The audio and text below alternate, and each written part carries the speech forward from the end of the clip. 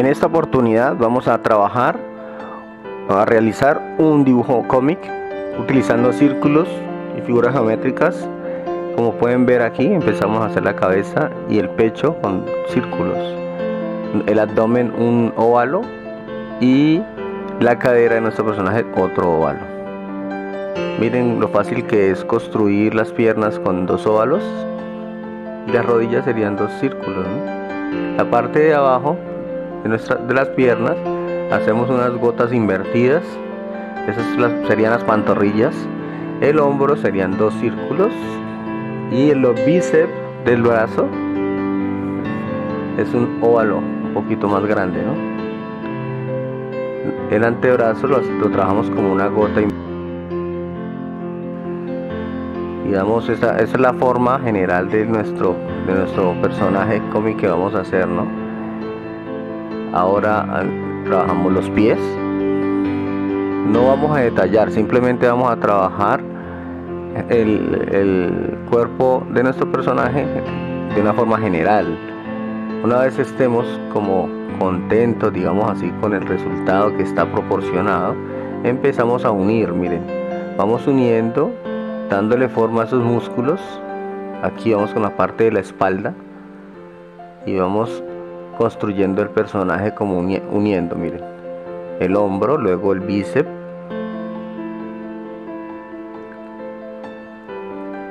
Y la parte del tríceps del, lado derecho y el tríceps del lado izquierdo.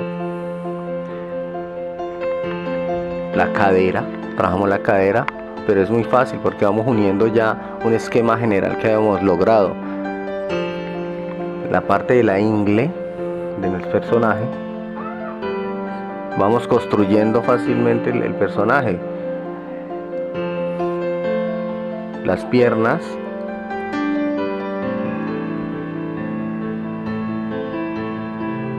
ahí vamos corrigiendo los defectos que tengamos y vamos puliendo nuestras líneas, ¿no? Una vez que se va como mejorando el dibujo, gracias a que habíamos hecho un esquema general, así es más fácil abordar los dibujos que tienen que ver mucho con figura humana. Y como pueden ver aquí pues vamos a hacer unas manos, un esquema de manos pues pueden ser unas manos pero como un puño, ¿no? No vamos a abordar ese tema ahora, pero vamos a dejar algo así como algo general que sea. Está en puña, con los puños cerrados o ahí podría tener una pesa encima si quiere el personaje. Ahora con un lápiz 3B voy a repintarlo un poco para que se vea más fácil todo el trabajo que se ha hecho. Y van a ver cómo va surgiendo el personaje, digamos un poco musculoso o atlético, que es el ejercicio que vamos a hacer, ¿no? Estos ejercicios, si uno quiere mejorar, hay que hacerlos varias veces en diferentes posiciones. Ya basándose pues como en esta técnica para dibujar figura humana. Estamos trabajando los, las abdominales. Y miren que el personaje nos quedó proporcionado y es estéticamente agradable. Bíceps, tríceps, los hombros, los trapecios. miren, ahí vamos trabajando al delinear lo que estoy haciendo es resaltar pues todo el contorno de nuestro personaje y detallar algunos músculos ¿no? que es lo que hacen que sea musculoso nuestro personaje aquí resaltamos los hombros y el bíceps poco el pecho y unos músculos que hay en el, en, perdón, en el, en el cuello. Entonces, teniendo como esa teoría, rápidamente aplicamos la misma teoría de los círculos óvalos como, como hicimos el primer personaje, pero solo que cambiamos de posición. Esto le va a permitir a usted tener un personaje como más dinámico y que interactúe en lo que queramos hacer de nuestro cómic, ¿no? Para puede estar corriendo, saltando, todo depende de lo que quieras hacer, pero manejando esta técnica, ¿no? Una técnica que está basada en la geometría.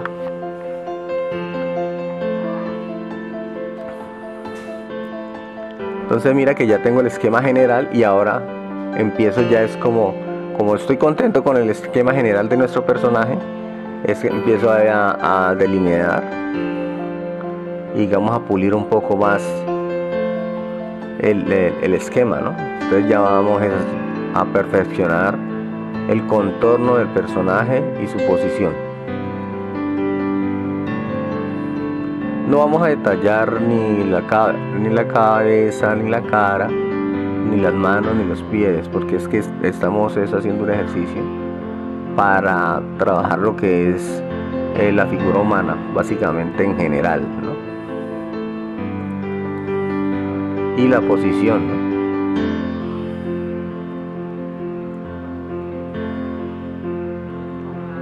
Entonces de esa manera vamos mejorando nuestro dibujo.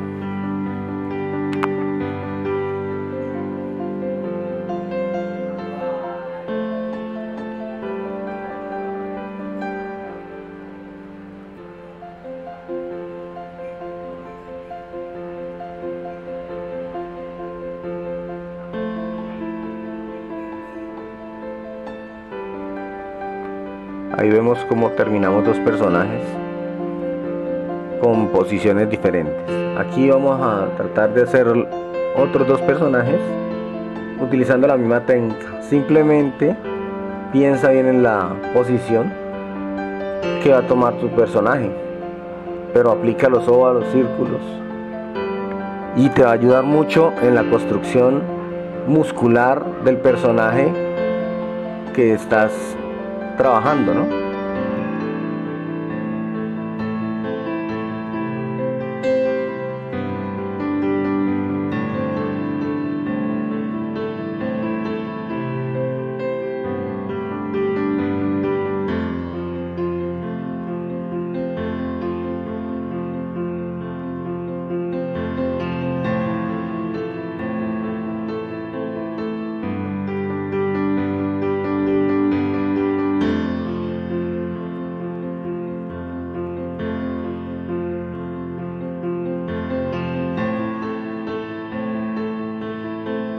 Cuando aprendemos a dibujar figura humana, eh, tenemos la tendencia de querer dibujar todo el contorno directamente y es ahí donde vemos que eh, caemos en errores como de proporción, que lo que hacen es que eh, desmejoran el dibujo que uno está haciendo.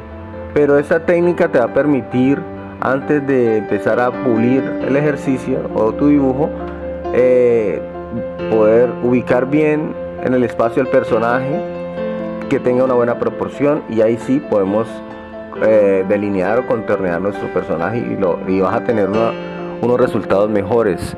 Se te va a facilitar esta técnica dibujar personajes, digamos, musculosos que tienen que tener mucho, eh, tienen que mm, tener mucha relación con lo de anatomía, ¿no?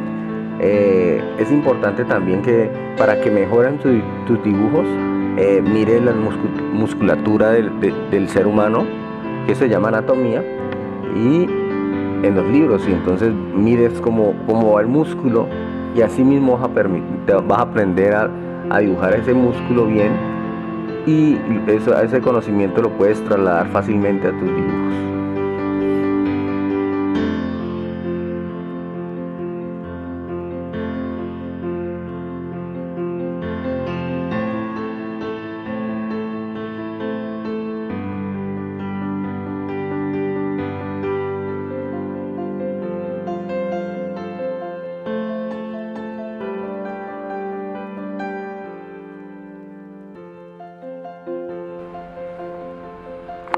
Recuerda que entre más ejercicios hagas de estos de anatomía, va a mejorar muchísimo tu habilidad para dibujar. Todo depende de ti.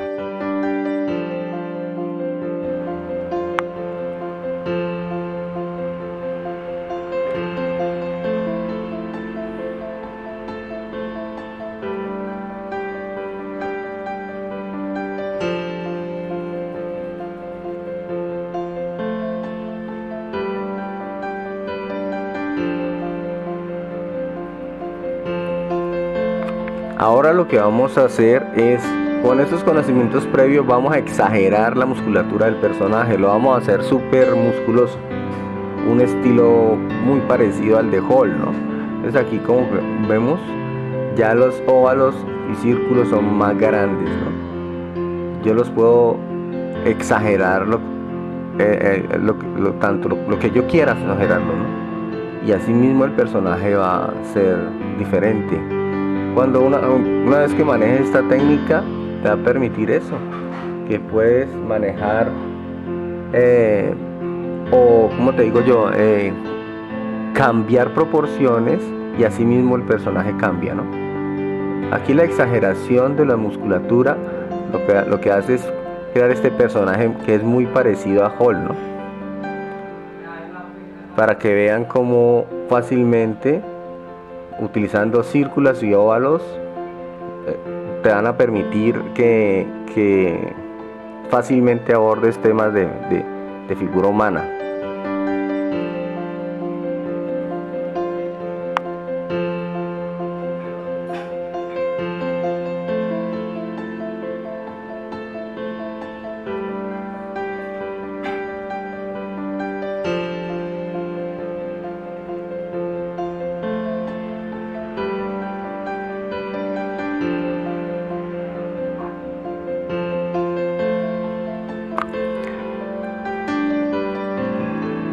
Aquí lo que hago es empezar como a resaltar los músculos, darle unas sombras.